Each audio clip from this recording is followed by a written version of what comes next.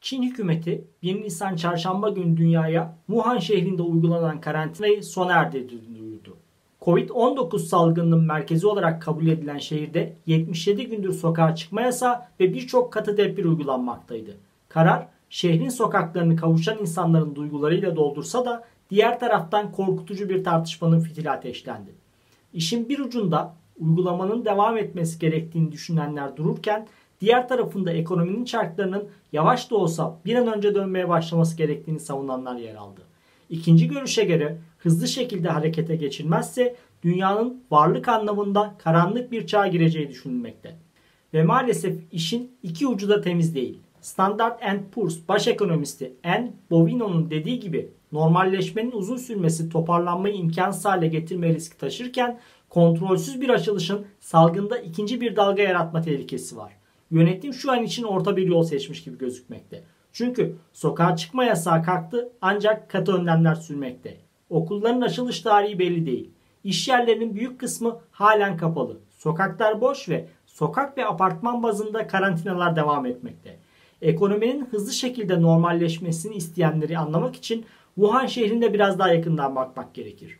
11 milyon kişinin yaşadığı bu şehir Çin'in lojistik üstü ve en işlek yolu olarak bilinir. Çin büyümesinin motorudur. Örneğin 2019 yılında Çin genelinde 6.1'lik bir büyüme yaşanırken bu hız Wuhan'da %7.8 olarak gerçekleşir. Aradaki 1.7'lik band %25'e denk gelir. Dünyanın en büyük 500 şirketinin yaklaşık 300 tanesi bu bölgede faaliyet gösterir. Dünya çelik üretiminin önemli bir kısmını gerçekleştirir ve otomotiv sanayinde yer işgal eder. Peugeot, Citroen, General Motors ve Honda coğrafyada kuruluş ve iştirakleri olan firmalardır ve ayrıca önemli bir üniversite şehridir. Dolayısıyla Wuhan'ın kapalı olması dünya üretimi ve lojistik özelliklerinden dolayı dünya tedarik zinciri açısından önem arz eder. Buna karşılık karantinanın uzatılması gerektiğini düşünenlerse pandemide ikinci bir dalga geleceği endişesi taşırlar. Bunun gerekçeleri ise hafif alınır gibi değil. Her ne kadar Çin Dünya Sağlık Örgütü'ne 18 Mart'ta 1 Nisan tarihleri arasında sadece 3 vaka bildirmiş olsa da bu sayılardan şüphe duymak için nedenlerimiz var. Çin Stratejik Araştırmalar ve Uluslararası İlişkiler Enstitüsü mütevelli heyeti üyesi Scott Kennedy, merkezi yönetimin bazı bilgileri Wuhan benzeri yerel yönetimlerden sıklıkla sakladığından bahsetmekte. Wuhan'ın da aynı şekilde merkezi yönetime doğru bir raporlama yapmıyor olması olasılık dahilinde. Ayrıca bildirilen ve istatistiklere geçen vakalar semptomatik. Rakamlar asomptomatik. Yani bir belirti göstermeden ve hastalığa yakalanmadan dolaşan ancak virüsü yayan insanları içermemekte.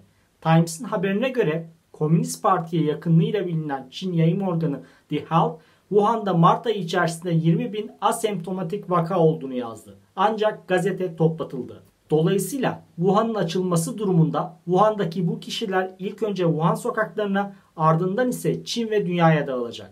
Şehrin lojistik olarak önemini anlayabilmek için Ocak ayında şehirden transit geçen yolcu sayısının 15 milyon olduğunu söylemek yeterli sanırım.